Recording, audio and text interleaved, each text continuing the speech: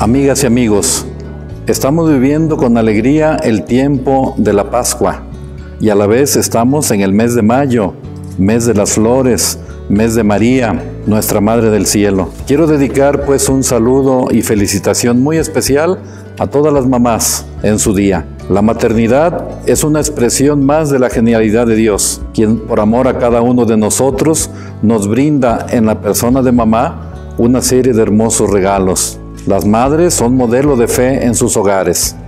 Invocan con amor la bendición sobre sus hijos. Son las primeras promotoras de los valores.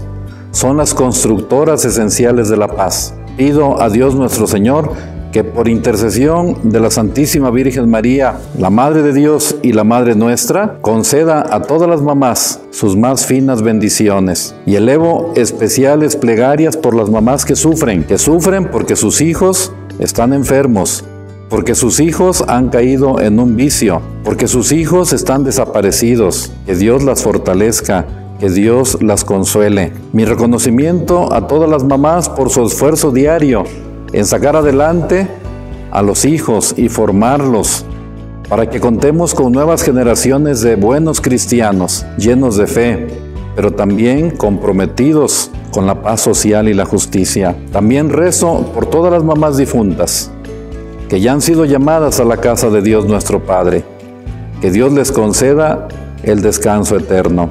A todas las mamás y a todas las abues, muchas felicidades. Que Dios las bendiga a ustedes, que Dios bendiga a sus familias.